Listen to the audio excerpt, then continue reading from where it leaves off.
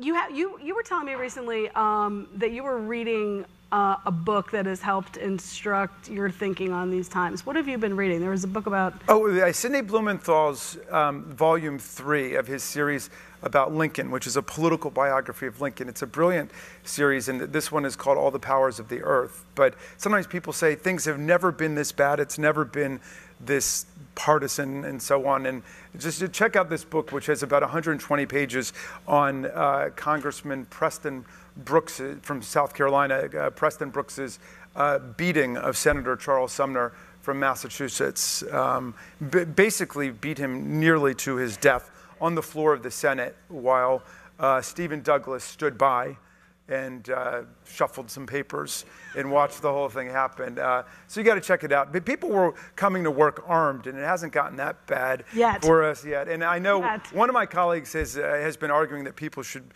should be allowed to exercise their Second Amendment rights okay. on the floor of the House. And uh, but um, so far uh, it's been nonviolent. We're going to make it through this period. I want everybody to know uh, the Constitution is going to prevail and democracy is going to survive.